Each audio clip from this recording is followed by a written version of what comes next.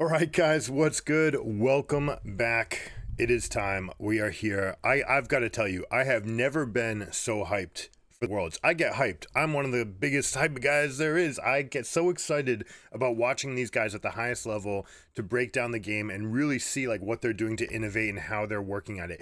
This is the highest level of League of Legends that has been played. This tournament has shown a lot of promise as far as the teams showing off true greatness. So I'm super pumped.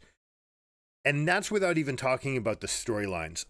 I'm going to get into three reasons why FlyQuest should actually be really happy with this draw, that this is the best time to face Gen G.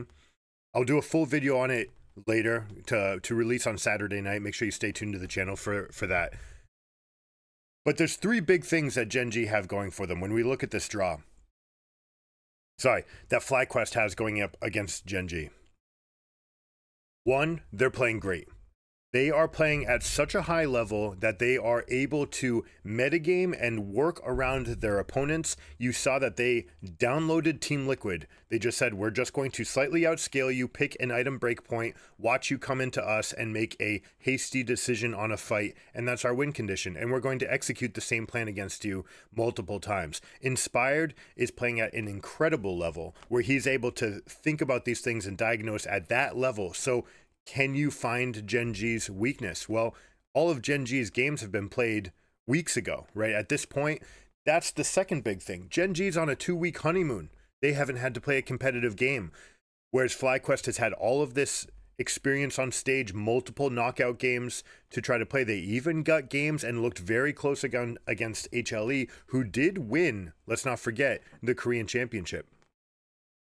This team is built with two rookie of the years in bot lane that are ready to play in a bot lane supportive meta where you have the Jhin and the Ashe coming out in multiple games where this means that that bot lane can just adapt. You can ask Massu and and Busio to adapt to the team's needs, and that's perfect for them because they're young. You don't want to have them to have this huge expectation where they have to be the source of the carry. They can adapt to the team. Now, those are the two most recent rookie of the years. Another rookie of the year was Inspired, and Inspired is the transcontinental MVP. This guy has won everywhere he has played. He's been MVP. He's been first team All Pro. This guy is playing the game at an incredible level. And then you have Bwipo, who's a perennial All Pro, who also has World's Finals experience. All right, he's been there, he's seen it. You should hear this team during their shot calls. It's cool, calm, collected. Words like walk it in. If nothing ha- happens here, we win. All right, let's keep on moving forward. Let's aim for this. Let's stone this player. It's very clear, it's concise, it's going to help the young players, especially. And as much as I've touted up the bot lane, the jungle, and the top, they say their best player is their mid laner. Quad is playing at an incredible level, and their team says, let's funnel resources into him. And that's perfect because we have a mid lane carry metagame. All right, we're looking at champions that haven't even been pushed to their limit yet right now as far as pick ban. Akali Sylas getting buffs right before Worlds. We've seen them each a little bit. Sylas, not only is it blind pickable for strength, but it also goes into all of the ultimates that have been played around the tournament, especially someone like Aurora. Aurora is this champion that is considered blue B1, have to pick it right off the bat. Well, what if you pick Sylas? Right? Or what if you take the, a champion that says, okay, I dare you to pick Aurora. I'm going to have access to the ult, and then we can try to bully you in lane phase or something like this. Right? There's a lot of permutations of draft that could flavor that could favor FlyQuest and for these reasons, I'm actually really excited about their game. And I think this is the best chance that NA has had against an Eastern team since Cloud9 back against Afreeca. And if you guys remember, we called that and we won. So I'm not saying, I'm just saying. All right. Like FlyQuest is primed to do well. I'm going to do a full video on it to break down all of the elements. The other teams, though, like I'm that pumped about FlyQuest Every single other team has a world champion on their roster. We have Weibo coming back from being defeated last year in the finals, so they have tons of experience. They've swapped junglers with the team that they're playing against today, LNG, who has not lost in two months, right? It's been several months since they have lost games that mattered. Then you have HLE and BLG. Uh, I've Bilibili, it's been kind of surprising how weak they've looked. They might be guilty of skipping ahead, thinking, hey, we're so good, we're, we've been training for the finals. You could see it. We called it way back in March when they played in their in their rematch games where they were flashing T1 emotes in the beginning of the spring season saying like we see you we're coming we're coming back for the world championship so maybe they have been skipping some steps about let's just do the best we can right now but that team is scary good knight is maybe the best player that has never won a champion yep that includes chovy no knight has won as much or more than chovy has then you have chovy and the rest of gen g how can you how can you vote against this team. Like as eager as I am to support FlyQuest, Gen G has maybe the best bot lane and jungler and mid lane in the tournament. And their top lane's no slouch. He's been playing great too. So where's the weakness here? You know, it's gonna be tough. And then T1, you obviously can get hyped. And then top esports, they have three world champions on their roster right? And they have an insane amount of clout. So there is so there are so many storylines to follow in this in this tournament. Which leads me to my last bonus reason why FlyQuest could be uh, pretty happy that with this draw. The fact that they are the last game that they play on Sunday. All of this eye candy up and around the other seven teams, right? Gen G is going to want to watch this game. They're going to want to see this and really care about the teams and be diagnosing, right? By all means, I think these players should watch the game, but it's a little bit different when Gen G is thinking, I have to watch this game because I want to figure out how to beat T1 or top esports. Whereas FlyQuest is like, okay, let me watch this game, but I'm still thinking about the monster that's in the room. We have to beat Gen G. So all of this eye candy, all of this distraction, two weeks off all of the things are pointing to the best possible situation that FlyQuest could have going into this game against Gen G. If they get stomped, then that will just be a narrative that proves to the to the West that we got to change the way we do things. But I'm excited. I think I think FlyQuest has a legitimate chance, and I'll say it. I think they can win this. I think there's a good chance that they go to five games and by five games, Gen G just buckles down and absolutely stomps them and says, no, no, no. All right, we're to thank you for reminding us to bring our focus. So I'm calling Gen G winning 3 2, but it would not surprise me if FlyQuest were able to steal this series. And I'm here for it, man. So those are the stories that I'm looking at going into the game. We see this draft where we see a lot of what we saw in the Swiss rounds. Orianna Skarner played as a combo. We've got Nocturne. Now, something that's coming up interesting in uh, in this draft from LNG is they've put Nocturne and Renekton together, which means that Gnar should have a really easy time up here, building an early plated steel caps and and perhaps building with enough armor items the ability to carry this game. We'll see how that goes. It may be very hard for LNG to break through breathe on the top side. And then they've got Orianna Rakan to help him out, right? They've got all of these abilities. What I'm looking for from Weibo is a shield bash comp. All right. This is, we call this a shield bash comp because you have multiple sources of shields on your team, plus a champion who can tank who wears the shield bash already. Okay. And this is vital. It's vital to be aware of this because we saw it in FlyQuest versus Team Liquid. Come to us, come on, you know, here's the fight. Hey, look, now it's time. Like, you don't realize that my team it hasn't shown after buying their items. You haven't seen that they're all on their spikes. Come get me. Hey, look, I'm overstepping. And then Umti every single time would come jump on Inspired, and Inspired on his Skarner, for example, would just mash shields, uh, protected by two supports on his team, and basically be invincible if we can get a similar similar sort of fight from this, you see Ashe supported from long range. That will allow Rakan to get into the game, and and then that makes it so that really Gnar can be that carry. You can look for that big AOE team fight. It's it's going to be interesting. There aren't really split pushers. You can say Gnar and Ahri, you know, they're they're going to be okay. Renekton's not going to want to stay in a long lane uh, against Gnar for sure, and Orianna absolutely absolutely not. That will be the window that LNG is looking to go through. They want to get Nocturne to punish these side lane champions. We have a lot of gap close and stun potential from the other solo laners. So when we're looking at Ahri plus Renekton, a lot of the they have a lot of setup potential. Jhin has follow-up setup potential, and that's more than enough time for Nocturne to get into the game. Man, and like now getting into that's without even talking about the players, man. Scout if you remember, Scout was actually a T1 Academy. He had to play behind Faker and he left because he realized there's no chance that I'm ever going to I'm not going to be able to defeat this guy for his spot. He's too much of a legend. He's too good. I'm going to go to China, get paid, of course, but also go and win multiple championships, including a world championship for himself with EDG. This team is stacked. Both of these teams are stacked. They've swapped their junglers, so they should have each other completely downloaded. And I'm here for it. You know, I can't wait to see everything that goes that goes on with it. All right, so let's take a peek. We've got a minute 30 in. We look at delayed lane swaps, delayed invade.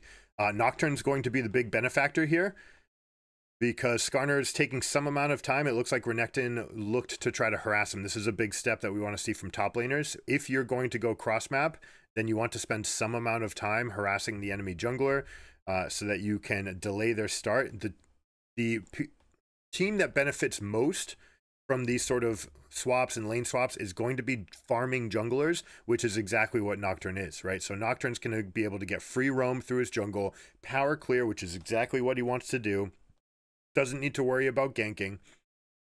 And we'll see how much they can get into into their defenses. Now, Rakan, we've seen a couple times that supports will leech level 2 and then come and defend bot lane with a teleport from the top laner. And most times these bot laners, what you're going to notice is that they stacked the wave and they want to get this huge push coming through, right? This huge push, the reason that it's important is because this cannon and all of these casters are now going to be the source of multiple plates worth of damage and the only way to really punish this play is to teleport bottom and say, okay, I will soak all of the experience. Now, at what point are you willing to come down? It looks like Weibo has come up with the adaptation that Gnar it can actually come down here because he's mega, right? And the fact that he's mega Gnar means that he can pop down and defend this thing, and that's a little bit of an adaptation. We haven't seen a mega Gnar transform into bot lane. That is the sort of thing that we love to see for adaptations. Game's paused. Uh, I'm going to turn on the sound and see if we can figure out why. Lane of Weibo, the bot lane of Weibo, breathe the great TP, lands that connects the, the wallet, but the focus onto Crisp. The medic, take it away. All right, looks like they're back in game, so no big deal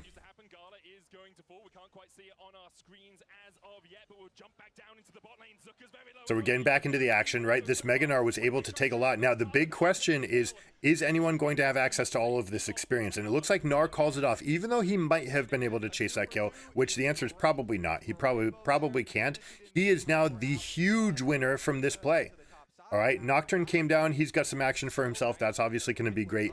But Gnar, who has the counter pick against the Ren- Renekton, is now 1-0-1. And you have Renekton playing in a very weak lane phase. He is not really a strong champion until level 3, especially into these ranged champions. So I love this adaptation from Weibo Gaming that they are sticking the Ashe up in the top lane to fight against him. So let's see how this goes out.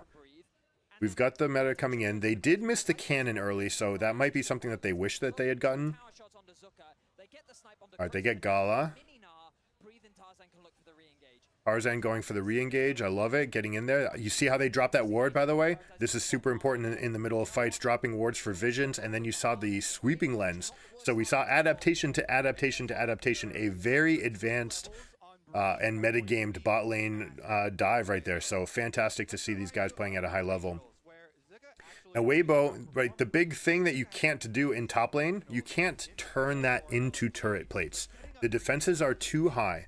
When you go for a lane swap, you have to go for an experience lead, right? You cannot get the gold lead when you're the team that puts two champions up in the top lane. So what they're going to try to do is sit on this Renekton and make it so that he cannot play the game. He's already died, he's already teleported, and now they're sitting here and they're camping his ability to get back into the game. So they are trying to shut out this Renekton. So even further now, the difference between Renekton and Gnar is going to be that much bigger. Right? Weibo has thrown this huge wrench into the game plan. Now it's five minutes into the game, and you can start considering trying to play for that turret.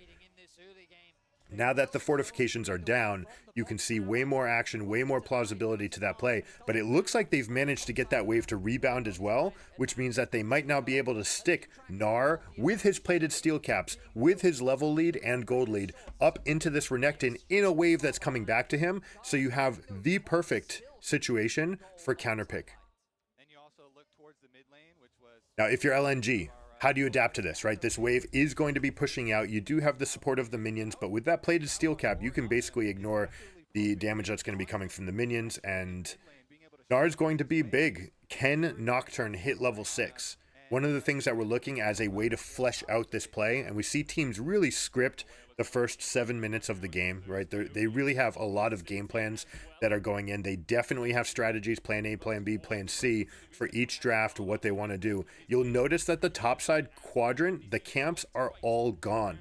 This is vital, right? Because if you're going to spin back and have Nocturne come back to his jungle, if he's able to clear those camps, we're talking about him getting level 6 right now. And instead, he doesn't. That's a huge difference when you're talking about the setup for this Gnar. Now, Gnar is taking a lot of damage here. This is kind of concerning to me. He tried to over freeze rather than just play for the X for the XP lead, which means that he gets chunked and blown up. This is a huge mistake by Breathe. Good punish by LNG. They say, okay, you want to give up some of your prio to go and fight for Scuttle Crabs? That's fine, but you've taken way too much damage up in the top lane. Good punish, and that is... Breathe is going to consider that a blunder. No doubt about it. Teleport is back up. That can't be right. The knockback on Hang towards the top side, but it's not going to be enough from Weibo so far, and now Light is overextended. Zucker slicing and dicing his way through. The charm connects, and Light is down alongside him. Tarzan falls, LNG absolutely trouncing Weibo at the grubs. Yeah, Check out that fight. Good position, overcommitting based on the fact that Gnar wasn't there, right? They didn't have the ability. Now, they may feel like they're good to continue, knowing that a lot of cooldowns have come down. But again, Nocturne's going to be a huge winner out of this. Uh, Jhin holding steady. Gnar, we see on the screen right now that Gnar's teleport looks like it's up. But it couldn't have been up. He teleported to bot lane. So I don't know if that's a spectator bug based on when the game got paused.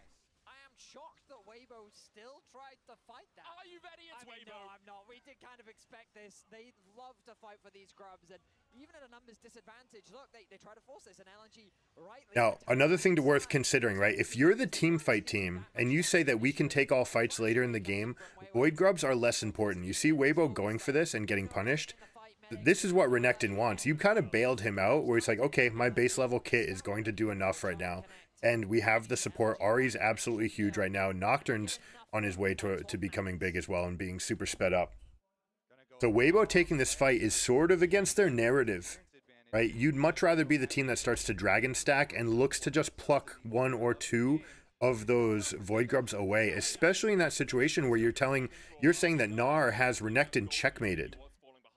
Uh, not anymore, right? It's like you went for a big combo play. I don't know what the result's going to be. And you end up risking everything to try to go for an extra piece. You end up giving stuff back you're new to the channel, I do like to use chess analogies a lot. Uh, we say that this game, if you look at season one and what the best teams were doing, we'll call that rated 2000. And in chess, rated 2000 for 100 years was like, that's insane. You are a grandmaster. You are one of the best players in the world. Well, that number goes up over time. Every time that someone plays a game, publishes a book, or, or just anything happens, the rest of the world can take that and learn from it. Now we're in this computer age where we can get some of the thinking done for us as well. But chess in particular, you think of what used to be 2000 rated being the best in the world. Now you're talking about 2800. Someone, you know, Magnus Carlsen even going for 2900. 2000 is just not that good. And it's the same thing with League of Legends. The strategies that were around in season 1 were bare bones. It was the lowest level of everything. You know, these sort of concepts have filtered their way all the way down to to gold and silver games what happens over time is you keep on seeing adaptations. What are lane swaps? How are we going to reflect to matchups? The players now are not playing at a just skill level. They're playing on a levels level where they're going to try to outthink their opponents. And that's what's exciting about the game now. There's still a lot of room. And, you know, FlyQuest is playing Giga Tempo, which we absolutely love. Team Liquid is the team that really started it in NA. It said, hey, we're just going to play at this high level, try to get, maximize all of the resources on the map. All right, this continuation seems really loose. You do have Rakan uh, Skarner, so Skarner's going to feel very tanky, but I think Skarner's going to want to look to get back and finish his Heartsteel because he almost definitely has it done right now. Might look to clear one more camp just to make sure that it's getting its reset. But if you can get that early Heartsteel, then you're talking about a lot of extra, a lot of extra prowess in the fights. Cleanse there. Fight in two directions. Weibo decides to retreat to the right. They say, okay, you've consolidated on that side. That's good. Garner can not be slowed down while he starts that, so he fights for the team. Good instinct by Rakan. You also see the control ward, so he had pretty good timing there. And this was this was a split call by LNG. You had some people on the cutoff, some people on the let me get the wave first or approach from this angle, and that leaves the way to f your way out, right? Not necessarily talking about flashing your way out when there's two fights and you're being collapsed on, the best exit is to go through one. If you try to corral, you will eventually get surrounded. So the best way out is exactly what they did. Engage on two of them, take your quick 3v2, see if you can get a pick, and then you've got the safety of your turret. A little bit of a mistake from LNG, make, uh, not letting two of the carries get, get in position for the fight there. So that will springboard into extra extra void grubs. The first row of voids is finally cleared, and there's not going to be a second spawn because it's 11:50 in the game. So uh, there will not be a respawn here. We did see in the meantime, Gnar did get that solo queue or that solo kill against Renekton. He is still pressing this lead. Uh, Interestingly, for Renekton, he's in a weird position where he wants Merc Treads this game, but he can't afford to buy Merc Treads. Sometimes in this spot, you might see the Swifties being purchased, where it still has some effect against the Gnar, the slows from Skarner, Orianna. Literally everyone on their team has an effect that's going to slow you. So having Swifties would help you with that. It also gives you extra backline access, and it allows you to play a little bit more modal uh, dodge more boomerangs from Gnar. The problem is that it doesn't give you the stats that you need, and Gnar can just still poke you out. So we'll see if he ends up going for that later. We imagine it's going to be Merc Treads because he's going to try to get onto that back line. So that leaves him with essentially a stride breaker start, and that means that you have pretty weak items. Basically, until you get to the stride breaker, the Gnar is going to bully you out. And even when you do have it, it's going to be dash in, stride breaker, try to use the gap close uh, to get to him. Gnar will always be able to buy the space, and that's without even considering how big of a lead that they gave him for this game. Weibo's going to be super happy, right? They had that one mess up in front of the in front of the void pit. They shouldn't have gone for that fight, but everything else has been going fantastically for them. They will undoubtedly outscale this game. Uh, Nocturne has not been able to make the huge play that you're looking for see Stridebreaker already picked up for him as well, so he's looking to make sure that that first gank is effective. Jhin and Rell being rotated over to the top lane. Now, we've seen some adaptations. We haven't talked on this channel much about the 14-minute rotations and what teams are expecting. So here we go. Slow, you got the Q. We just rush the flash. Doesn't even let him get the stride breaker out. And it looked like he didn't even get a red attack on, or did he? he's able to get that slow and then get the stride breaker into range, he might have been okay.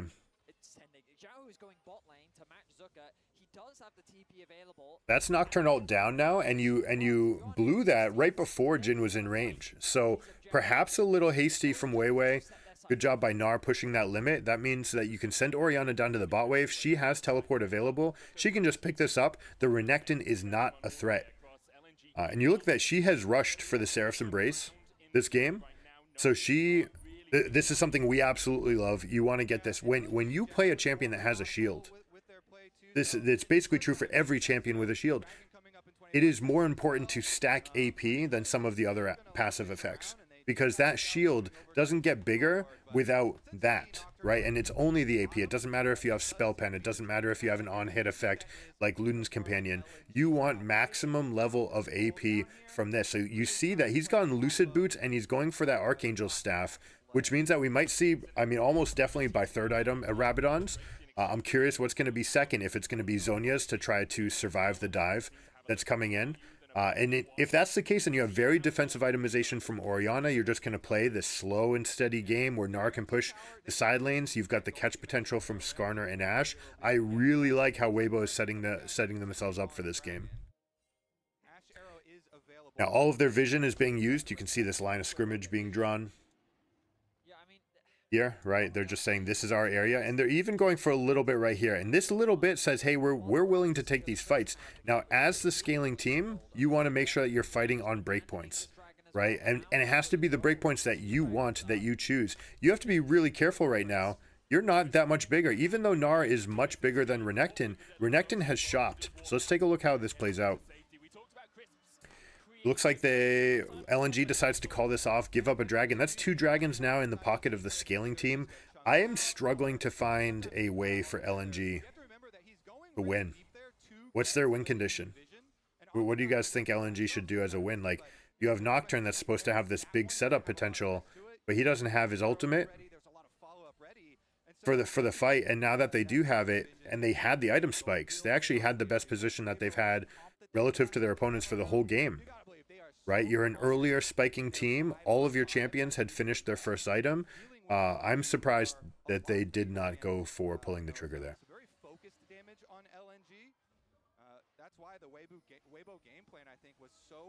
So I guess if I'm LNG now, the one thing I'm looking for is how do I set up a pick, right? How do I set up? What are the rotations? That I can try to exploit. A lot of this will come down to your advanced scouting. How much do you know about this team and their tendencies? Where do they like to ward? Where do they like to play as far as mid inside out prio, or do they tend to go top into mid?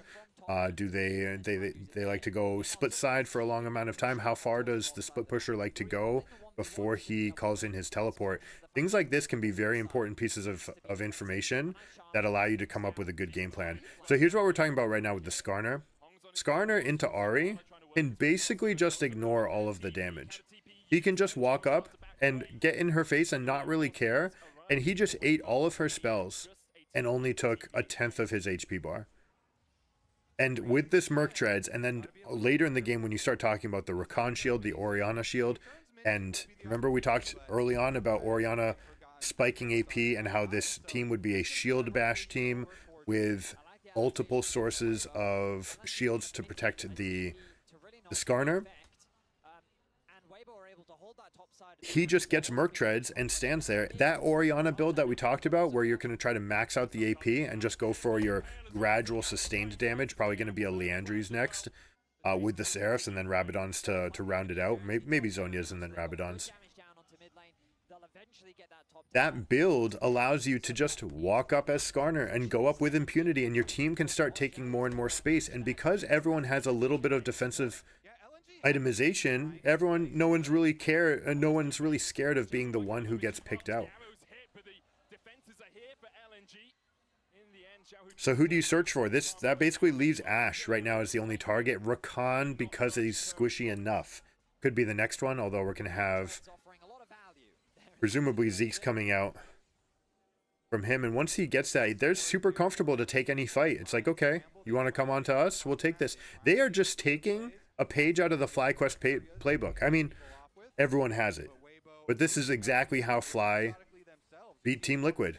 They say, okay, you want to try to come in, you want to try to come to us? Fine, I'll pick Skarner, I'll build shields, I'll keep him alive. Good luck ever trying to get through the wall of Ixtal. Gnar's going to start piling onto this lead with proxies.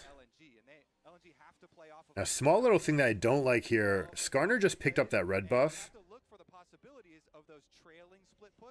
I wonder if that means that nerves are are going to play a part of this. Maybe they thought that they were losing some amount of the top of the southern quadrant presence, and he thought this is my only chance to get this now. It might get a little bit dangerous. You can see the lines of wards right? That Weibo has said, look, this is our area.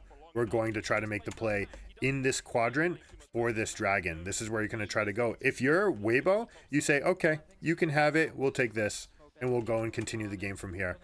Uh, and And if you're LNG, like, what are you supposed to do? Are you going to force a fight into them? It's going to be really, really difficult. But this area is the only real win condition I see for LNG. They're going to take over this spot, uh, try to bait this fight. And again, if I'm Weibo, I just say, no, nope. I call your bluff, and, and I'm going to re-raise you a Baron. You guys can have your first dragon of the game. We'll take Baron, thank you. All right, we're post 20 minutes. So this is what I was expecting was this red buff. You normally want this to go after 20 minutes because the having it on everyone on your team definitely makes a difference in these fights. It's a small thing, but the regen, the extra slows on your attacks, all of that adds up. All right, so you see their plan, right? We're going to call this a lollipop strat where you're just like, hey, look, want a lollipop? Uh, basically, you're going to have this area. You have a team supporting. I'm just going to draw it on screen Skarner controls an area, and everyone over here has to wonder whether or not they want the lollipop. And Ashe is just going to be holding it out. It's like, oh, you want it? You want it? If they try to come to the Skarner, Skarner says, yoink, I grab you and I bring you back, and we have our Ashe Orianna combo or, or whatever it's going to be, to try to pull you into a fight. So you're going to see Skarner take more and more aggressive positions, trying to bait the enemy team to go onto them. If you're Nocturne, you have to find a way to target here. You have to find a way to get to the Ashe. Uh, Ashe does have Cleanse for the Fear. You do have Slow as a follow-up, so it's important to get a Slow out onto the Nocturne uh, and then get your Cleanse. Make sure that you're able to kite back. He does have the Stridebreaker, uh, and you're probably going to see something like Sterak's Gauge coming to make him more of that bruiser build so that he can survive long enough, right? This team clearly just wants you to come to them and then swallow you up. So if you have a Sterak's Gauge Stridebreaker build, maybe you stay alive a little bit longer. Uh, I do think it means that Ashe is never going to die. I don't think Ashe is going to die again this game. And Weibo looks like heavy favorites. We'll see. See what we get, though. All right, control points marked, right? You see? Fight for this area. If you control this triangle, this is the Bermuda Triangle. Blue team can defend, red team can do it on the opposite side. But by controlling this this pit and this area, you say, I control all of the avenues here. If you want to fight us, you have to come around this super long way. And it becomes very predictable, very easy to defend. Skarner holds enough territory, and eventually they say, hey, we got our spot. Nard going forward. Plasco, and all right, Nard's going to find him here. Ooh, he doesn't go for the throw first. All right, carefully don't get too spread out, guys. You might have a re-engage here from the Nocturne because Skarner did stay back on the Dragon. They may have vision of this. So Weibo may have had split calls here. And uh, you know how we feel about split calls. Doesn't matter how team, how strong your team is. Fighting with a finger, never good enough. You want to fight with a fist. Five people on the same call, always, always going to be a stronger, stronger call. Skarner using the W for slow, flash forward to get the ultimate. And we get that situation we talk about. Here's the lollipop. Renekton's diving onto the Ashe. Everything's going to be done to try to get this Renekton, but Renekton finds that kill with the Sterak's Gauge. Weibo biting off more than they can chew. And this was the scouting report. We talk about the importance of an advanced scout and having a game plan. Weibo, notorious, notorious for overfighting and taking every fight always. And I think their their theory is the more practice we get at it, the better we'll get at it. And by the end of the year, when it matters most, we will outplay our, our opponents. But it showed its ugly head right here, where they just overchased. Skarner stayed on the objective. We had one here, two here, one here, one here. Five people all in different positions in the quadrant is a really awkward position to be in. So LNG has a chance. I'm still putting the game in, Weibo's pockets if they play perfectly from here on out. So we were good, right? This is good. You're done. Boom, right there. After the flash, you can hop over one more, but Ashe needs to start moving forward. Why? You can never go in a position where Ashe says, okay, I've got the wave.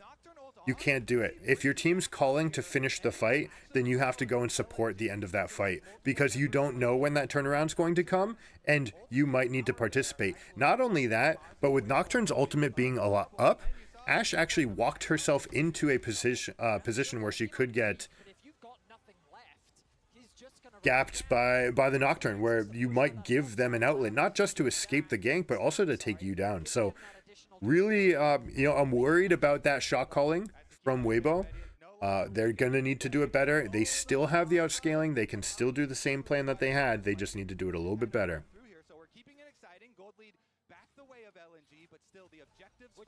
All right, Rakan does go lock it. Uh, I do like the locket as another way to keep people alive just a little bit longer, an extra shield for the Skarner. Here we go. Oh, big mistake again from Ashe. Ashe kiting away from the enemies rather than towards your team means that Xiaohu was not able to get the big shield on top of him in time. You need to reposition. This is a couple of big mistakes now from Light and LNG is punishing, and they have been the supreme team fighting team in the region.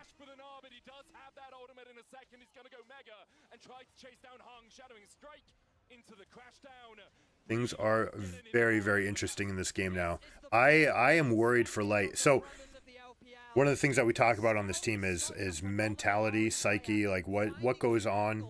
It's very hard to create the stress and the pressure of what happens on this stage.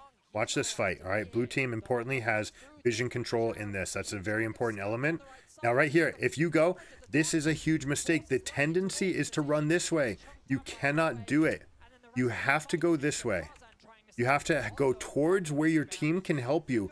Ashe actually volunteers herself into an isolated position, which makes her a sitting duck for the Ahri. Uh, that is I mean, I, I, will say team fighting 101 for an AD carry. If you follow the channel, you know that that's what we talk about all the time with AD carries.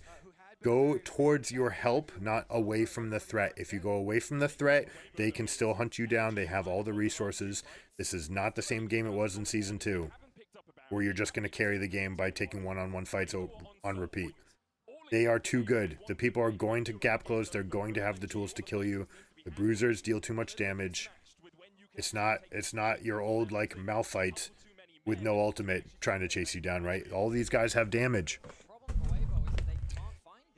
Get behind your teammates. Find a way to reposition. Get that lollipop formation back into into fine.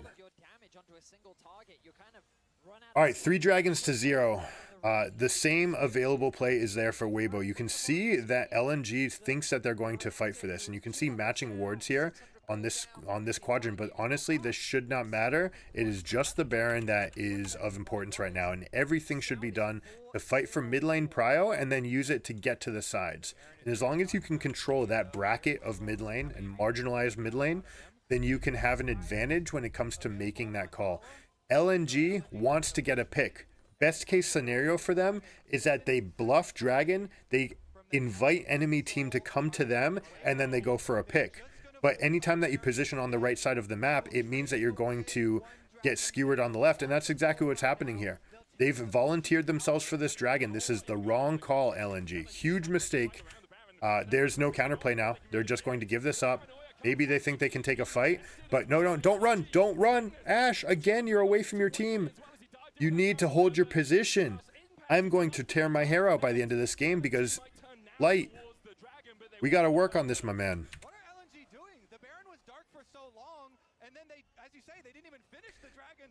All right.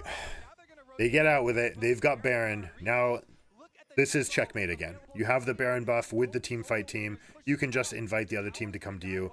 Uh, see what they have in response. There's really no good game plan. Now, we have seen... Wait, hold on. Wait, about Tarzan, what are you doing? There's no reason to come check to look at this dragon.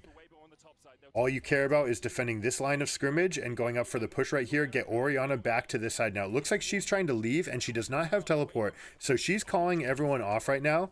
Uh, might make sense. They just got the Baron. They also picked up the tier 2 in the top lane. They didn't get this one though. This is a big target.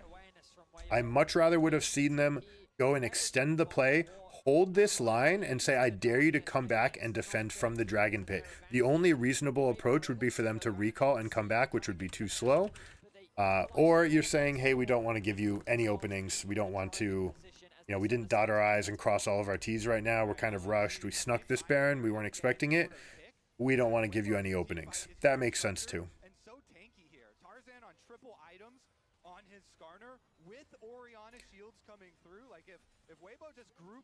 All right, there we go. This the seekers we were talking about. So it is going to be Zhonya's. So this Orianna, not dying.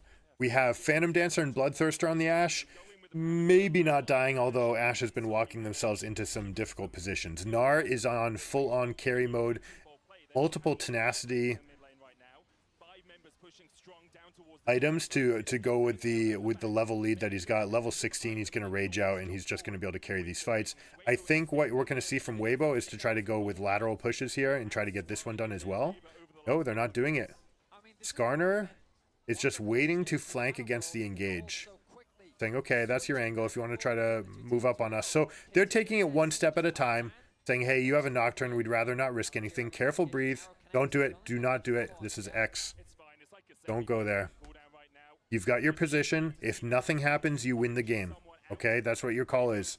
We're winning. We're winning by more. We're taking things. There's nothing that we need to do here. We don't need to force anything. The Barons are going to take care of the structures. And who's going to clear waves?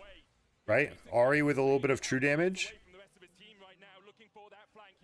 Jhin, not enough, not enough damage to go. All right, here's the fight. They're saying this is our chance. They've committed everything to that they will commit to try to get this inhibitor. We've got some Sterak's gauge popping. Turn out the lights, see if we can get some misinformation, but it's a little bit too little, too late.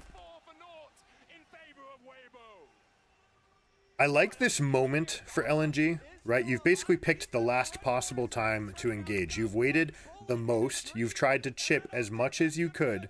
The only slightly better time would be right as the turret's going down uh, where you can maybe pressure them into into a bad choice. Uh, Weibo played a fantastic game. Light did not. So if I'm coaching, we're going to talk about his pressure, his nerves. It's okay. Shake it off. Uh, we've got another game ahead of us. We need the best version of you. You got this. We can still do this. And that's what I'm trying to portray. Uh, keep cool and and calm because you played a great game. So keep them in their strategical mind. Try to help Light out with the nerves.